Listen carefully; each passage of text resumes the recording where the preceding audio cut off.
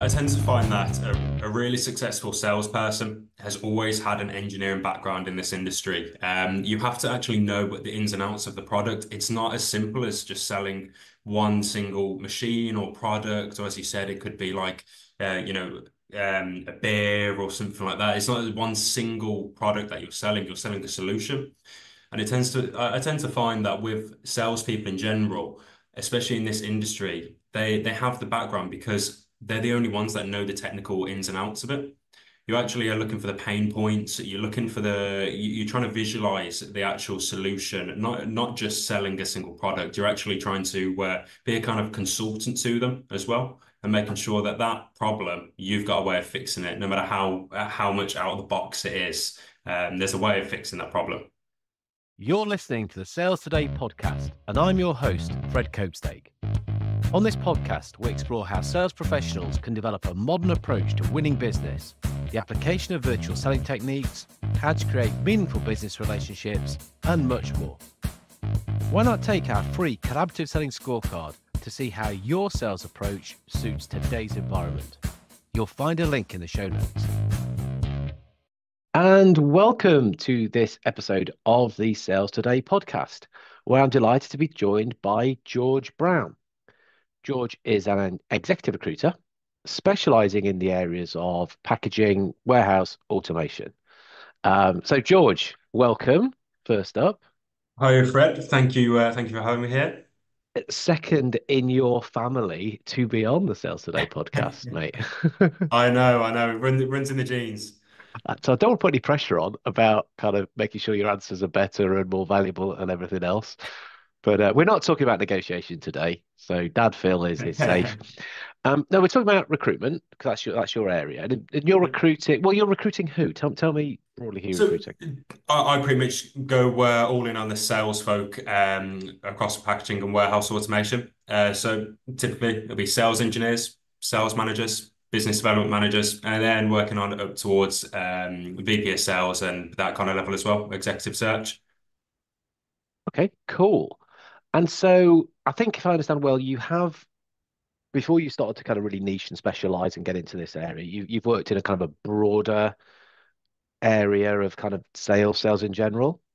Yeah, yeah. So I started off, I suppose, in the warehouse automation as a whole, and yeah. that's you know it's a huge, huge, huge market to go after. And then I noticed that with the engineering backgrounds, um, the packaging automation side was actually it was a, it's a bit of a niche area, but still as big of a market.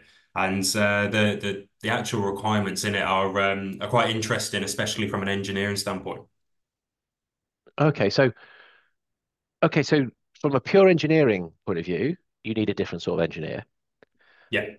And what I'm interested in is that when we're talking about salespeople in the engineering space, they're often a bit different to engine uh, sorry to, to salespeople we might see kind of in the broader broader world, you know, selling. I don't know, crisps, snacks, beer, trucks, chicken wings. I don't know. So um how how are this kind of salespeople that you're dealing with different? What idiosyncrasies? What things are you seeing in them?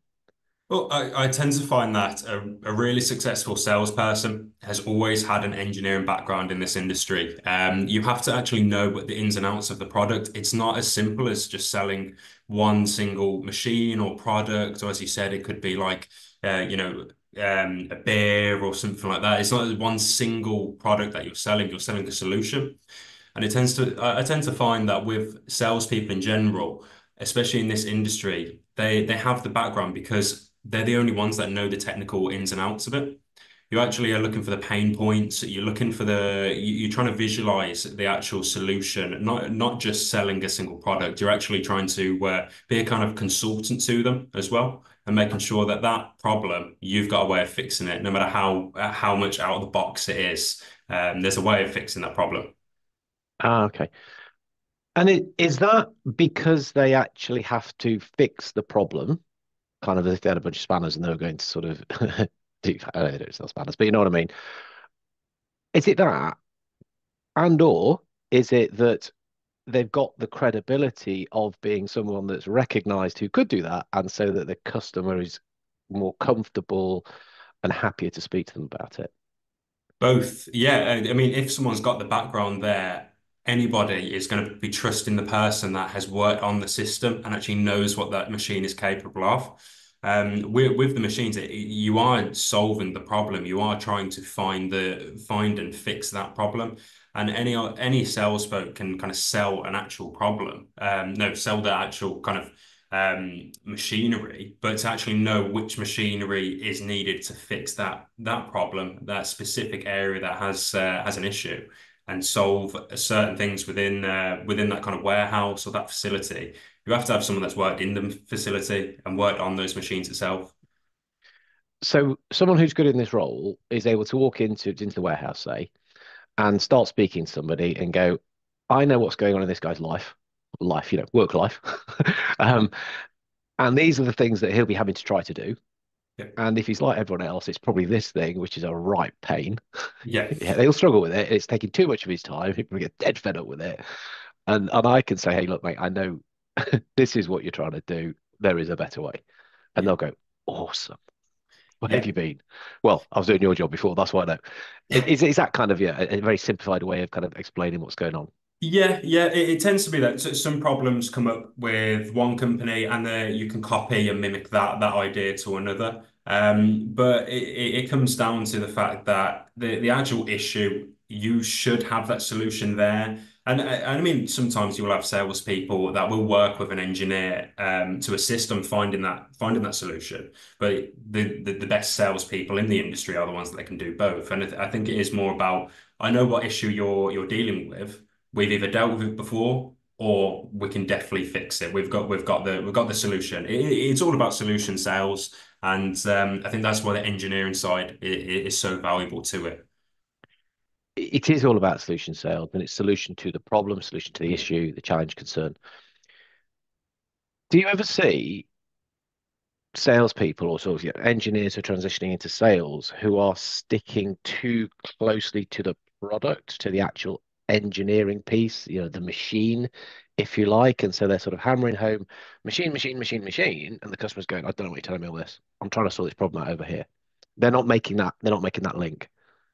Sometimes I, I have come across people and that will that Oh, they, they prefer the engineering side because they might not be that comfortable, um, you know, with, with the people, you know, speak, speaking and then um, and dealing with, dealing with being in a customer facing position. And you know, you will have those people that will stick to uh, those kind of roles, but there's always in a in a decent sized company, you'll always have perhaps a team of two or three that will have one that is pure engineer. They will ramble on and on and on about you know each part of the machine.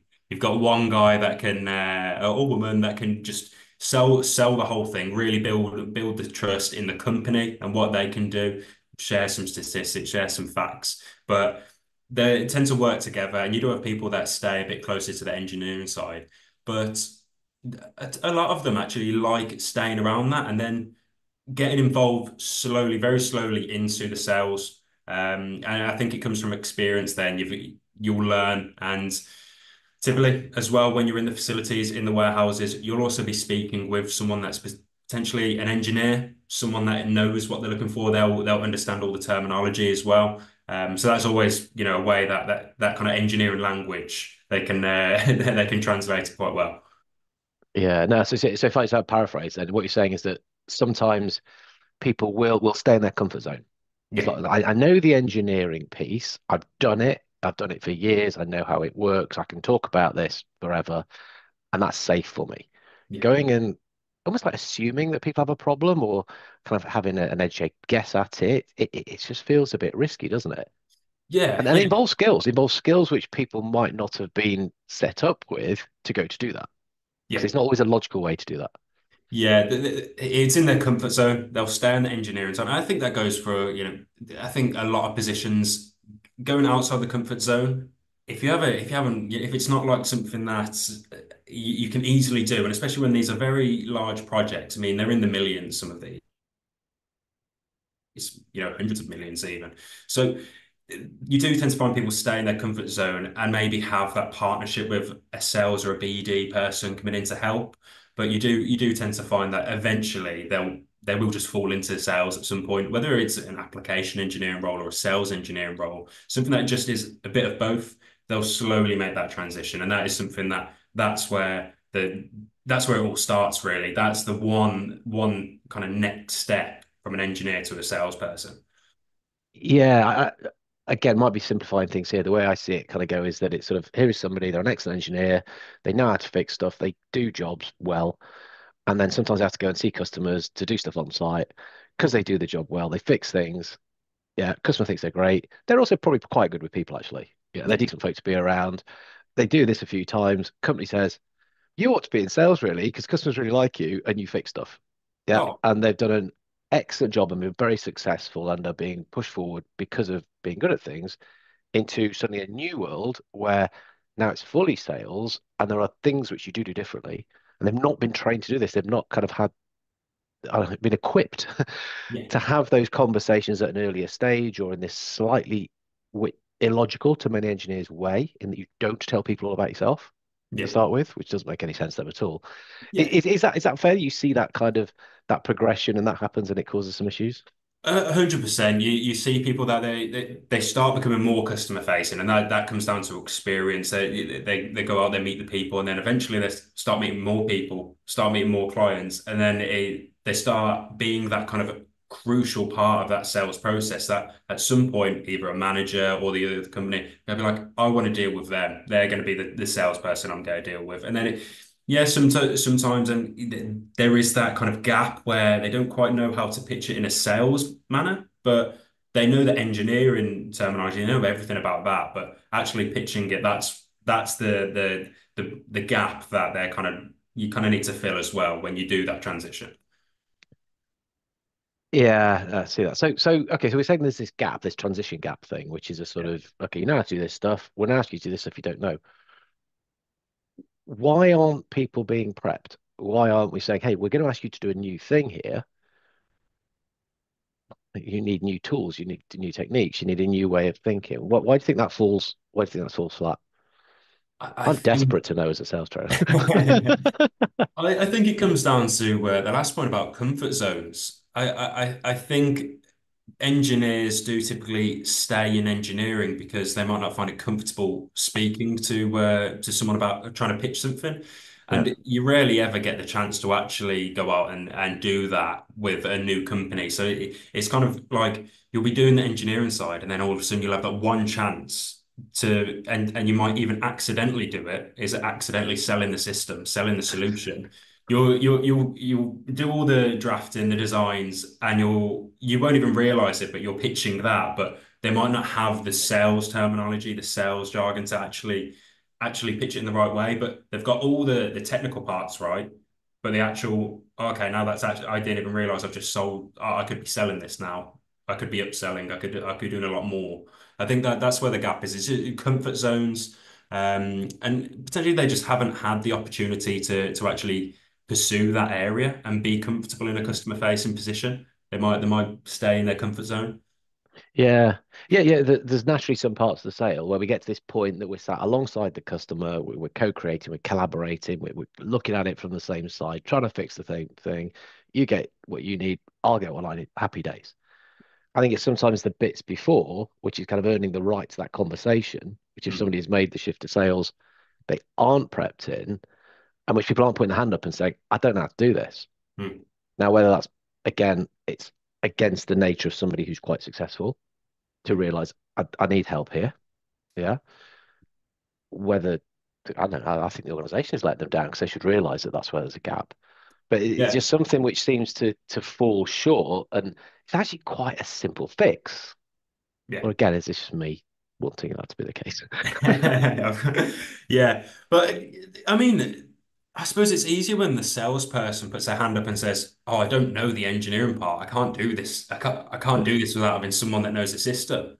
So yeah. the, the the salesperson will probably put their hand up and say, "I don't actually know this system enough to sell what they need." So they'll get the engineer involved, and then the engineer has kind of had half the sell. The, the sales part is almost half done. You've got the introduction there. It, it's all about now the engineer's part to to do the solution pitch it, pitch it exactly. They're they're just pitching what they've got on their their, their paper, but the salesperson is pitching for the sale. And I think that's where there's a, a bit of a, a the, the gap is the salesperson will say, I don't know the engineering side, but the engineering people might not realize that they're they're falling into the sales process then. Soon as they work with that sales, salesperson, they're involved and they might need that support to, you know, be able to speak with someone um, and and and pitch that pitch that product, the solution in the right way. Because they, they can show off all the paperwork, but it's actually being able to say, oh, this is the problem. This is what we can do. That's the salesperson. Uh, that, that's the gap. Yeah, I, I think you're right. And I wonder, because I've sort of done a couple of podcasts in this series already, whether there's also a bit of resistance from the engineers who are sort of saying, no, I know what I'm doing here. I am successful. I understand systems. I've got a process. This is why this will work. And when somebody's telling them, right, here are some new processes, some new systems, because there are different ways of operating, they don't like that. They find it hard to, I don't know, absorb, if you like, and and, and take on this new way of operating, which isn't what they've been doing for, for a great for, for a big part of what their you know, what their career looks like. Yeah, there's it's comfort zones again. They they, yeah, they, yeah. they, they they want to stick to what they're good at, and yeah. um, they they they're just not going to be comfortable just going straight into it like that. And I think then then I, I can't say for sure, but I think it's also a confidence thing as well about kind of there might some of these projects genuinely are like 50 million 100 million. Some of them are 100, a couple of hundred thousand, but typically when you're when you're at one of the big companies doing the whole solution, they're going to be upwards of probably minimum 3 million and then upwards yeah. depending on the company it could go 50 100 i've seen pro uh, projects around 200 million and these yeah. it, all it takes is one thing to go wrong so if they might just get a bit nervous overwhelmed by it and that's where you know that's where the team really gets involved and having that salesperson that can deal with that. And I think that's why engineers find a bit have, might have a bit of a confidence issue there, maybe not not all of them, but the, when it's such a big project on the on the line, it, they might just kind of stay in their comfort zone, let someone else do the pitch. They'll just provide the paperwork and the designs. Yeah. I mean, when you're going up in value in these, and I've worked with some teams where we get up to a billion because yeah. they're, they're selling some really big engineering stuff there are more people involved. I'm talking from the customer side. The decision making unit is bigger. Oh. It's because it's such you know, big numbers, such big value, so complex. There's other there's lots of people who've got lots of things that they're trying trying to achieve, and we need to understand that.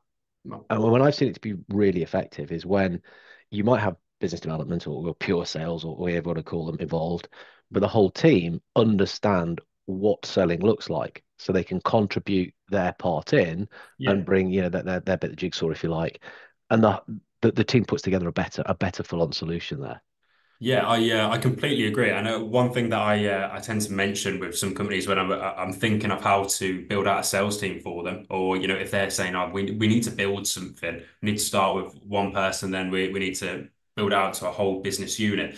I uh I, I tend to think of it as like a, a football team. Yeah. You've got you've got the salespeople, you've got the engineers, you've got the solutions, applications, and you got the just kind of the maintenance engineers as well. Um, account manager, you you've got all these different parts, and they all play.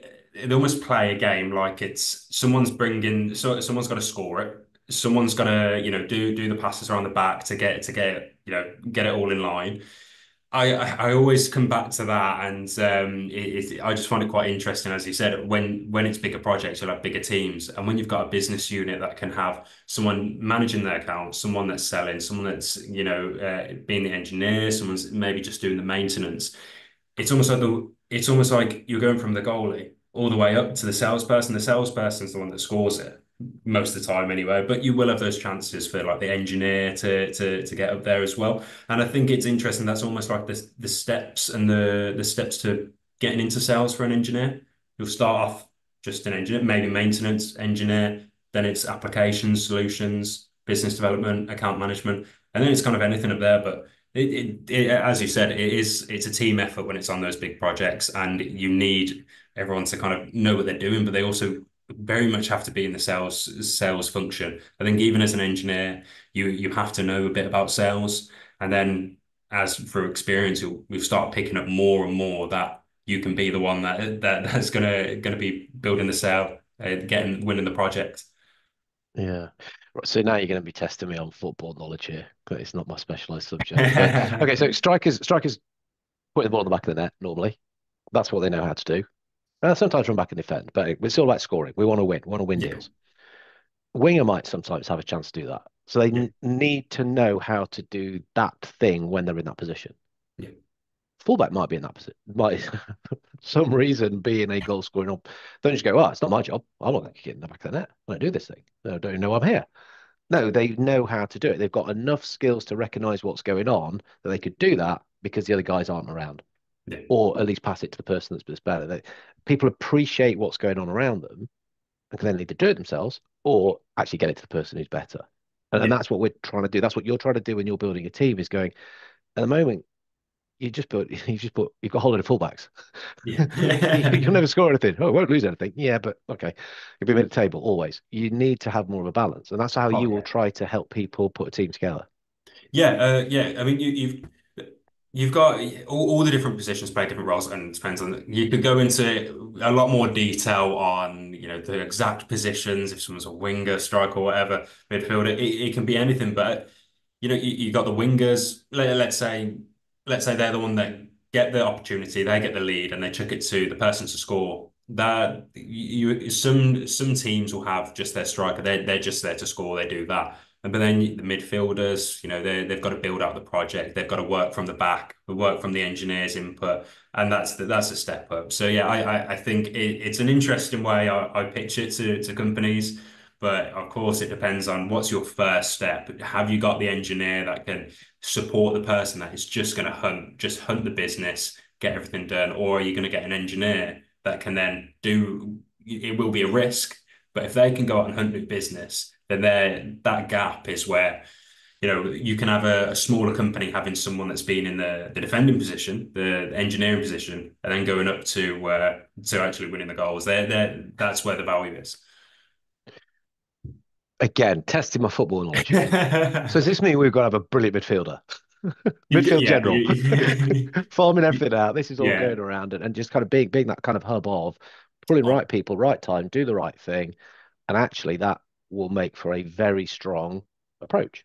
Yeah, yeah. Yeah. They they can fix the problems. They can go get the ball back, and they can potentially go off go off and score it themselves. That's the I think that's the gap. That's the you can see it's like the back there, up there, there. Then you've got the midfielders. This is a really weird way to describe it, but it, We've I- lost the American I audience, draw it out, it would uh, it would be easier to explain. But the, you know, you've got that. It's basically a three-step process, three stages. I think is the you, the eng engineer, then your kind of sales engineer, or there's so many different terms for it. Every company is different, and then you've got the actual sales.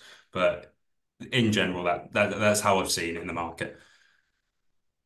Okay, so uh, typically they are the roles. So we turn it into back into engineering terms, but they have to come together as the team. If they if they if they're playing alone, okay, they might be successful.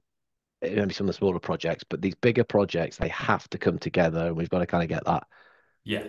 I'm gonna have to say synergy because I can't think of another word that is No, synergy that exactly describes that. synergy. but, It, but it yeah, is it is exactly that. If you if they're not coming together a team, well, I think especially when it's bigger projects, you're going to be dealing with a big client here. You're going to be dealing with, you know, what we call one of the top dogs. If it's a big project to work on, they also want to see that there's a team at hand that whenever there's an issue, someone can fix it. And uh, when it's a smaller project, yeah, you can have one one or two people in there, but bigger projects, you are going to need a team.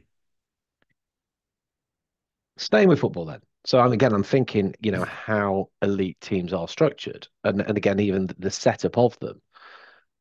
They've got a manager who doesn't run on and try and score the goals, Hmm. which some managers do in sales world. So yeah, take that as one lesson. But the manager puts the game plan in place. That is how we play. Okay. And so we stick to this. And someone goes running off doing their own thing. It's like, no, you're not contributing. This is the way that we're going to win the game, and we all do this in this way. It Yeah. might be different in one game than another game. Yeah. This account, we're going to approach in this way.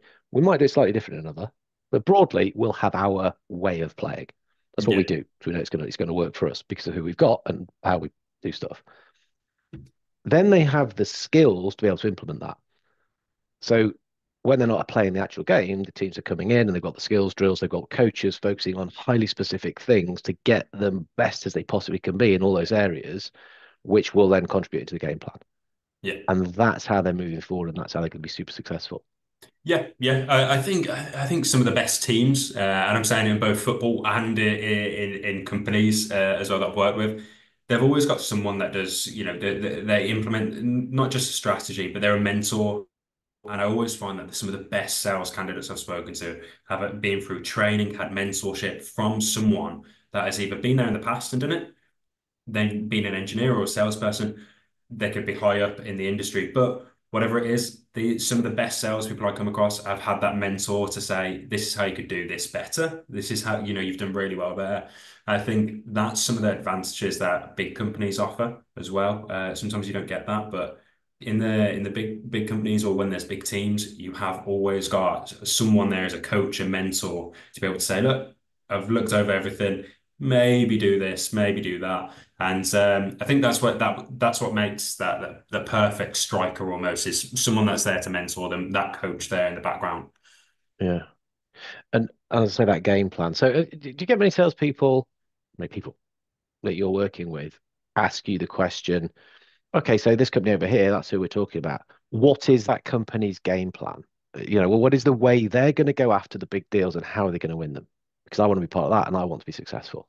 Yeah, I, I mean, I, I, get asked all the time, and I think you know this week alone, because I'm, I am dealing with some senior roles at the moment, and I find the senior candidates are always asking that, and it's always it's always a good sign you're dealing with someone that is really clued up on what their what about their career and what the next step is, and I think when when they're asking it, they're asking it because they, it needs to align with them. And the game plan really is, you know, how are they already, how are they doing at the moment? Is is this hire to shift something as well? Is there a market that they're trying to shift to? Is that why they're interested in me? Is that why you're speaking with me? So I find that that it's always a great question to ask from a candidate perspective. But yeah, the the, the question alone on that game plan, um, it can it can win deals and it, it can lose deals. It can win candidates and lose candidates. There's companies that uh, I, have seen have changed their game plan, and all of a sudden people aren't interested in it. And you know, it happens more often than you think as well. And it, unfortunately, sometimes it involves ends up being layoffs, people leaving, stuff like that happens when there's a, a change of game plan that isn't communicated well. So it's always a good question from a candidate whenever I, I speak with them: is what what is the game plan for them? How how is it they go to market? Interesting. And I say some companies probably can't really answer that or they haven't really got one. That's why we're recruiting you. Okay, fine. That's a different conversation. No, they literally just make stuff up as they go along. Yeah. Mm, it, it, tough sell that one. it's sometimes, it's, I mean, sometimes the candidates um, will ask it and I, I, I, don't have the answer for them. I mean, I'll be honest, a lot of, not a lot, but some clients will always be a bit hesitant to share their game plan because they know that my job is to then reach out to candidates that could be a good fit and some of them might not be interested. So they can't risk their game plan being shared with a competitor or okay. another company in the industry. So you have to be a bit careful in answering it. And I always tend to try and hold answer a bit of the question if I can, but hold off until, you know, that I've got kind of almost permission to say, oh, the, this is what they want to do and this is why you'd be a good fit. Unless that person is genuine, that it's a perfect match very sometimes it can be quite difficult to answer that as a recruiter, just because there's a game plan and that's for one company. If that game plan shared to another, what stops them from going after those clients and following that game plan? So there is that fine line where you've got to be careful. Yeah, yeah. And I suppose, yeah, I mean, game plan is probably the bigger thing, whereas a methodology to win business, so an opportunity management type type structure is, is a slightly different thing. But uh, okay, so Wow, time is flying. Um, let's think of this. I don't know, is it holding midfield or attacking midfield? This, this superstar, this superstar that we've got. Yeah. If we're looking for a superstar, hmm. a superstar in engineering sales, yeah, three characteristics. Hmm. What three characteristics do you say? If I see those three, then we are looking good here. Yeah. Um, I suppose one of them technically equipped. And I mean that as in they know the machinery, the inside and out. They they know exactly what each part is. But you know, maybe not exactly all the part, but they know what that that machine can do, what problems that can fix. That is the biggest one. Um, I think whenever I'm pitching a candidate, that's the first thing say. They're technically equipped. They've got that. Um, the second one, I'd probably say network. Engineers, they might not be speaking with all these people, but they'll be building a network that they might not even realize they've built. They've built, they've worked with companies. They might have worked at Amazons of the world. They, they might work with what in the US. There's going to be loads of different companies that you know. So there's that. I think the network comes into a big play, and that's the second thing I'll also pitch, uh, especially when it's going into that sales front, because they might have some contacts that they can utilize in their next position that they've built trust with on the engineering side, and they might they might not think about it, but when they go to a new position, they're like that they've got that network, that that guy there, that, that guy, the woman, that that person can come in. They've already done the engineering side. Now we've got a chance to speak with him as a salesperson. We know he's got the got the job. We we know he's got he can do the job there.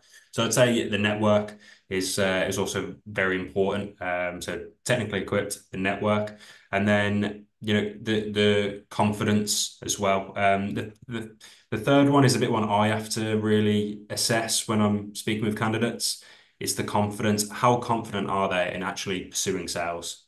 And salespeople and engineers and you know software engineers, all these different categories within a within my industry. It's almost like a different language for, for every single one of them. So speaking with an engineer is going to be completely different to speaking with a salesperson because salespeople, they like talking about their projects, they like talking about their big wins. Engineers might not realize that that's what I want to hear about. So as soon as they ask the right questions, like what's the game plan in the in this company, what projects have they got on, what am I walking into a cold desk or warm desk? Those are the questions that I'm like I'm almost testing their confidence as well. Um, because it uh, ultimately that also shows how good are they at speaking with someone else? They have to be, for me to be able to pitch them to someone, they have to be, have sold themselves to me pretty much, sold their story, their career to me. And it's a good sign for salespeople is if they know how to sell themselves, they, they know how to sell a project in a way.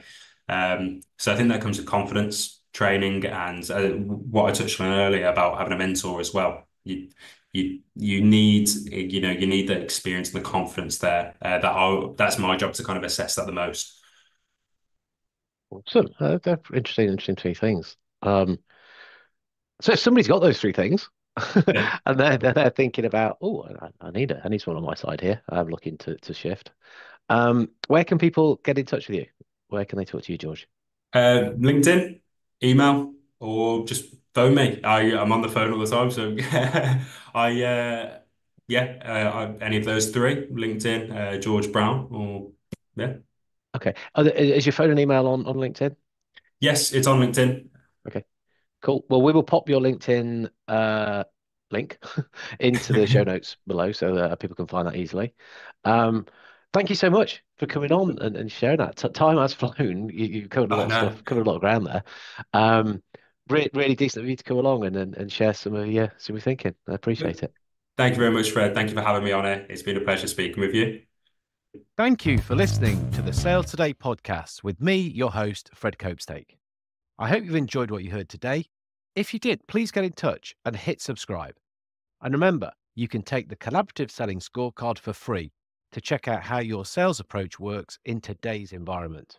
You'll find it in the show notes.